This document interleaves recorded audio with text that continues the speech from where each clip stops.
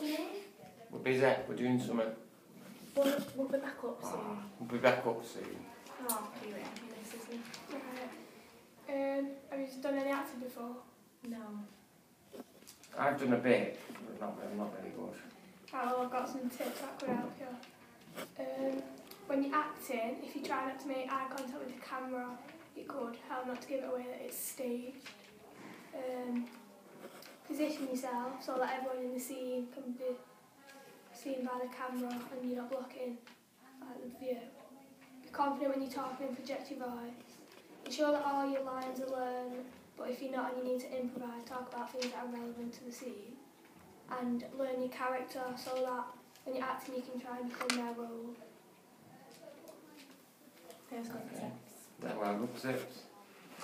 Right, so I'm going to give you a scenario Right. and you'll have to try and act it out. So you've got to pretend to be in an argument with someone and show emotion and use facial expressions. Well, what am I going to have an argument about? You're having an argument about something that's been damaged and trying to blame on each other. Oh, right. I bet Alright. you have to pick good argument here, Max. So. Are you going to, are you going to tell me, tell us when to start then? Right, you start so I can just like prepare myself. Who? Nick, you start, go on. Right, start. Who's done that? Don't know, I thought it was you.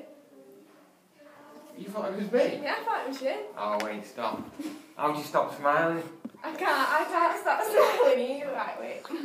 Let me just, let me just be sick. Let me just actually I'll think, you, let me just actually think you're actually trying to blame something on me that I've not done.